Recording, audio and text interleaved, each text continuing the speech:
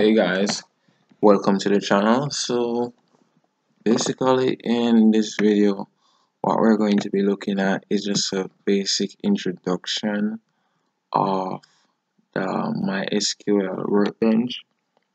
Well probably an advanced instruction. What I'm going to do is I'm going to show you how to create a schema and also to create a table. You will notice that I did not make a previous video or anything about um, the installation process of installing this. It's kind of tricky. However I think it's it's easy enough for anyone to get. But if you do desire for to see a video on how to to install this program MySQL Workbench please leave a comment in the comment section indicating that I should do so. Alright, so let's get straight into this video. So first I want to show you, so there's two ways to creating a schema in, well there's two basic ways to create a schema in MySQL Workbench. I'm not sure if there's any other that I'm not aware of, but there's uh, the script as you can see here um basically in it it's my preferred um, area to use. I prefer to use uh, the script. And there's also the graphical user interface. So what I'm going to do first is I'm going to show you how to create the schemas using the, the script and then I'm going to show you how to use it with the graphical interface so first thing that we need is to say create. In when creating a, a, a SQL script the a convention that is used is to type the script in uppercase letter and the normal SQL code the normal code in in common letters Alright, moving on. So when you're going to be typing the name of the schema that you're trying to create, so it's as simple as this. When you're going to type the name, you want to use these quotation marks instead of these or these. And to find these, what you this is found over the tab. So that's the key, the first key over the tab you do not have to press shift or anything. All you have to do is just press that key and you'll get it. So it's the key where the tilde is just to be more frank. Alright so let's get rid of that. And we end by putting a semicolon. So I'm going to name my schema Frosh IAMS as seen that we're using the fresh IAMS database so my schema is is now Frosh IAM so let me go ahead and to execute this we can just simply select here. So this is for instance that we have a lot of of code here. So basically we only have one line of code so we do not necessarily need to select everything. So we can just click this lightning icon here and this will create our schemas. Nothing has shown in the schema area as yet. There is no problem. The schema has been created successfully. One row has been affected. We all we need to do is to reload. And as you can see here, we have our schema. And we have a basic layout, but there is nothing here. There is nothing in our tables or anything. So the next step is to create our tables but just before we create our tables I'm going to show you how how it is to create the schema using the graphical way so basically you just click on this icon here and it, as you can see we have our schema layout. We can change the, the, the character set.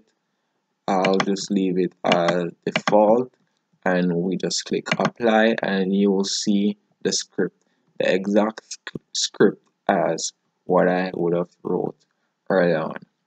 But as I said I prefer to use the, the script itself instead of using this.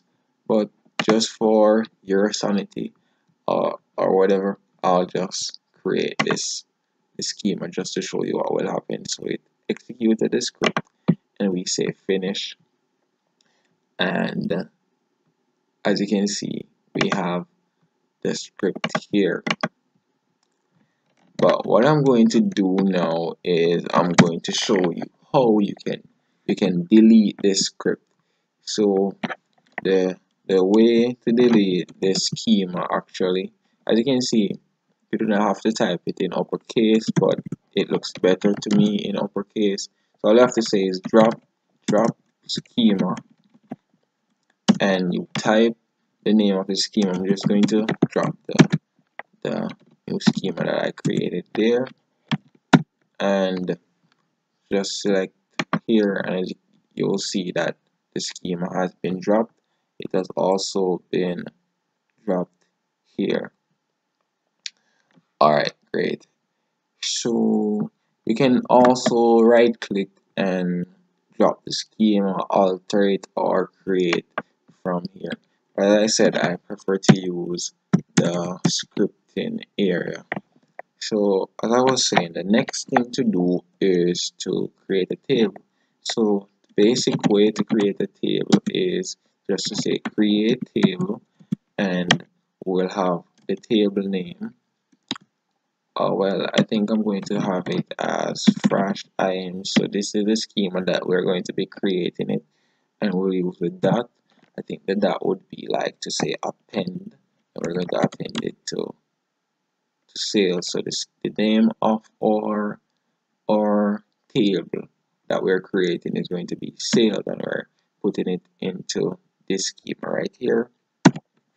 We end with a semicolon and we run this script. Okay this thing here. So we need a we need to have at least one column. So to create a column we'll open our parentheses and we'll name our column. So I'm going to name my column um, fresh id I'm going to call it fresh underscore id and close that. And it's going to be an integer and it's of the type integer I'm going to put like about 11 characters so it can hold about 11 characters. And it cannot be empty so we're going to say not null and we're also going to auto increment so it auto increments by itself we do not have to manually go and type a key a a id over and over. And we end this we do not end it with a comma what we do is we separate it because I'm going to add some more values. I'm going to add a first name. We're going to say if name. That's if name. And if name will be a variable character. So that's varchar and I'm going to have it as 45 characters. And this cannot be null alright and also I'm going to add a last name. And for the persons in my database they cannot have a empty or null last name. So I'm going to say not null. So it's the same varchar um, for the five characters. And one final thing that we need here is to have a primary key.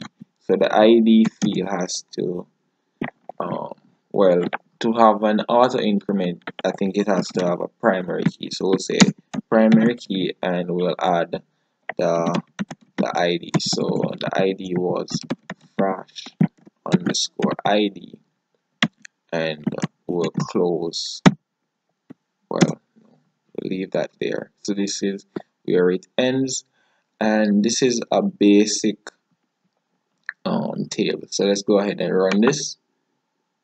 And as you can see it has been run but there is just a small um, warning. So I guess it's saying that integer display width is depreciated and will be removed in future um, releases. So I'm guessing that um, we probably would have taken up too many characters.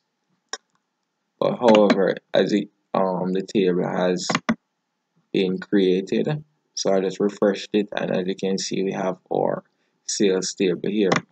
So we can go ahead and look into our sales table by just saying select all from and our sales table. I don't think we need to put fresh items at the front so I'm going to just put sales and it should automatically find it. Well, no, so I guess I'm just going to have to put the fresh items here so that's the schema name so it's looking for in this schema here and yep as you can see here we can we'll see our basic table. We can add our ID but we do not have to because it will automatically increment. So we can just leave that out. We can add a person's first name and tab their last name or whatever. I'm not even going to save that. But this is a way this is a graphical way how you can add um, values to the, the table you can also add values by using the insert into function which I'm going to show you in the next video. So stay tuned for that video. I might have a link somewhere around this area to show you at the or at the end of this video or in the description. But what I'm going to show you now is how you can create a table in a graphical way so to create a table as you can see in the schema area they have given us a list of things that are things that might be essential or that we can use. We can just right click on the tables and as you can see we have a create table. We can also have some template tables.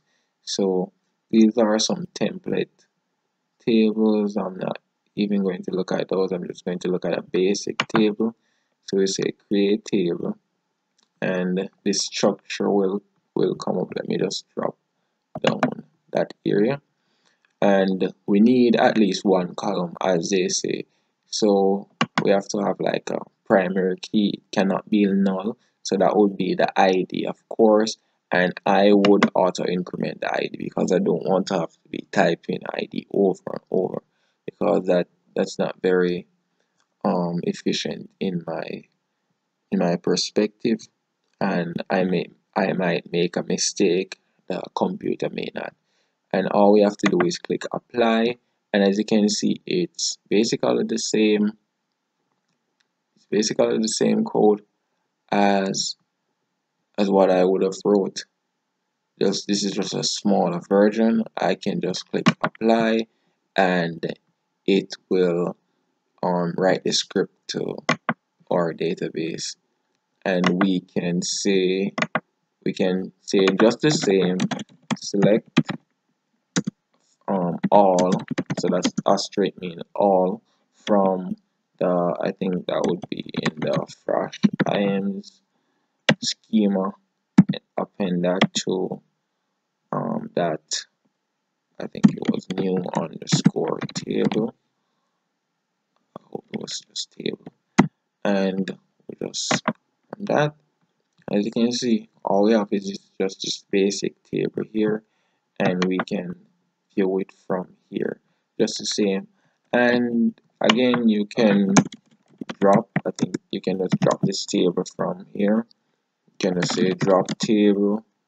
And uh, let's see. I think it's fresh items dot new underscore table. And this yeah I think it should drop the table as well. And now if we should go ahead and say and say select from here we would not be able so yeah as you can see we cannot see because it's no longer there. But we can see our sales table because our sales table is is still active here.